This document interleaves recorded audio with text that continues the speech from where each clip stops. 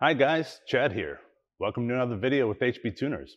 Today, I'm going to walk you through how to download our VCM Suite diagnostic and tuning software on Windows 10 and Windows 11 PCs. I'll also show you how to download the required drivers for our MPVI-2 OBD2 device. These drivers allow your computer to communicate with your device. The way I like to describe it is your device and your computer speak two different languages, and the driver translate it so they can understand each other. Our MPVI-2 Plus and the latest generation MPVI-3 device do not require any drivers on a computer with all its Windows updates. Without further ado, let's get into it. So first thing we're gonna do is we're gonna install our VCM Suite software on a Windows 10 machine. This is gonna be the same as on a Windows 11 machine. We're gonna start by going to hptuners.com. We're going to go to our downloads page here and navigate to VCM Suite. When you click on this, it's going to download the software. You're going to be able to go to your downloads page, wait for it to complete, click on it, and install.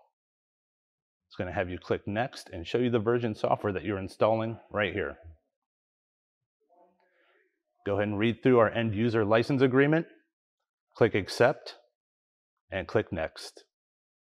It's going to tell you exactly where it's downloading. Go ahead and click next here and click install as we're ready. Here you're going to let your computer know that it's okay to make these changes. So go ahead and click yes. Now it's there and we're going to click finished. For those that own an MPVI-2 device, Let's walk through how to download the drivers required to make this device work properly.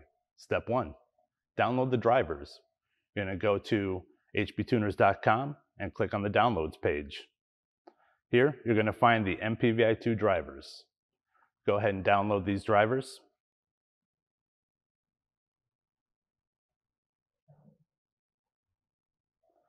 Once completed, we're gonna visit the folder that it's in. It's a zip file so you're going to right click on this and click extract all as you see here. This is going to put these all in a folder that you can use. Here you can see the file unzipped. Go ahead and click on that and get that running. You're going to click yes to allow it to make these changes. Extract the drivers. We're going to hit next in the installation wizard. Go ahead and read the end user license agreement, click I accept, and hit next.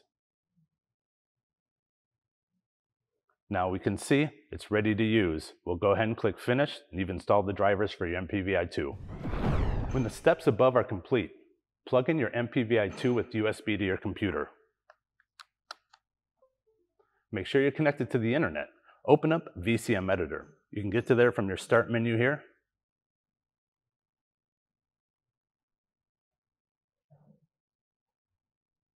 You're going to click Help and select About.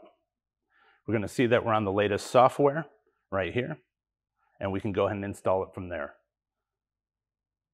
Once that's done, we're going to click Help and Resync Interface.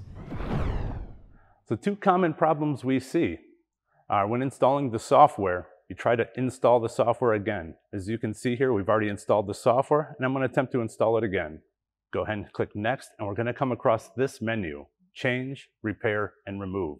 If you see this, you've already successfully downloaded and installing the software, so just go ahead and cancel out and everything's ready to go.